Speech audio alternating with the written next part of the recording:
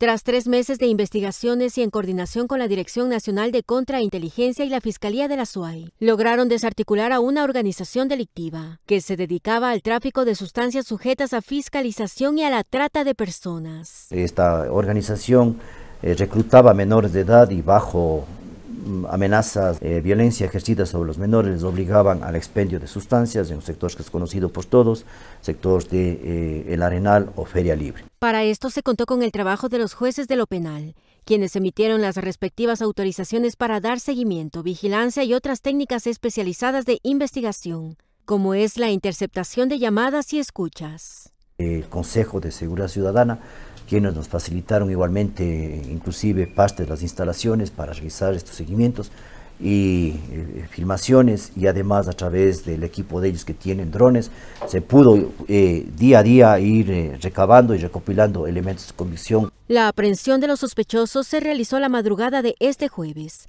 bajo el operativo denominado Libertad donde se allanaron diferentes inmuebles ubicados en Cuenca y en otros lugares de la provincia de La Suay. Se procedió a la detención de 15 ciudadanos de nacionalidad ecuatoriana, colombiana y venezolana y se recabaron varios indicios, fueron detenidas 10 eh, personas en estos domicilios y también 5 personas contra las cuales también se solicitó órdenes de detención en el Centro de Privación de Libertad Turia, es decir, en total fueron 15 personas detenidas. El fiscal recalcó que se emitieron 18 órdenes de aprehensión, pero en el operativo se detuvo a 15 personas y en los allanamientos se pudo rescatar dos menores de edad que eran obligados a vender las sustancias sujetas a fiscalización. 25 terminales móviles de diferentes modelos que también contienen información fundamental y valiosísima. 8 mil dólares aproximadamente en dinero en efectivo, 3 kilos ah, de droga aproximadamente, balanzas, licuadoras y fundas plásticas de empaques de sustancias donde se hacían las dosis, 50 prendas de vestir de diferentes marcas y modelos. Por su parte, la Policía Nacional, a través de una rueda de prensa realizada en la gobernación de la SUAY,